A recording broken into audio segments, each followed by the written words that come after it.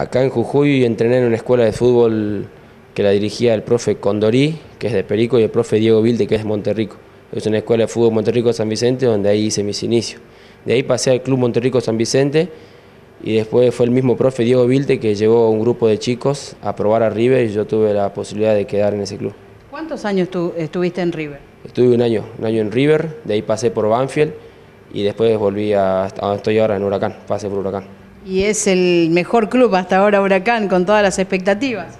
Sí, es, me está dando, es un, es un gran club, me está dando muchas oportunidades y estoy agradecido a Huracán porque me abrió las puertas y estoy teniendo rodaje con los muchachos de primera división, reserva y también en mi categoría estoy jugando y me siento agradecido a Huracán.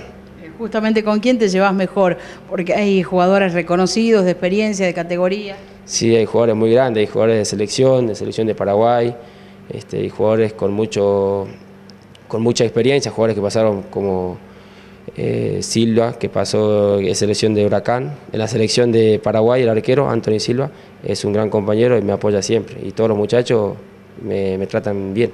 Por ejemplo, cuando llegaste a primera, dijiste, ¿con quién me quiero sacar la primera foto? ¿A quién le pediste? No, fue una locura. Este, cuando me enteré que iba a estar ahí, que iba a ser la pretemporada, cuando estaba con Gustavo Alfaro era Marcos Díaz, la gran figura de Huracán. Y pensar que iba a estar entrenando con él al lado de él me sentía muy feliz y, quería hacer todo para estar ahí y, que, ser tenido en cuenta y medirme, ver qué puedo aprender, qué, me falta, esas cosas y que me sirva para mí, para mi futuro. Se lo llevó a Boca. Se, lo, se fue a Boca, pero está bien, es, este es el trabajo del futbolista y hay que ver lo mejor para cada uno. ¿Quién es el técnico que te lleva justamente a, esta, a estar entrenando en primera?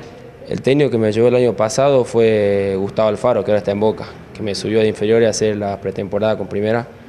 Y después también me llevó el turco Mohamed, Antonio Mohamed, y donde fue que me puso en la lista de Libertadores fue Antonio Mohamed. ¿Y ahora?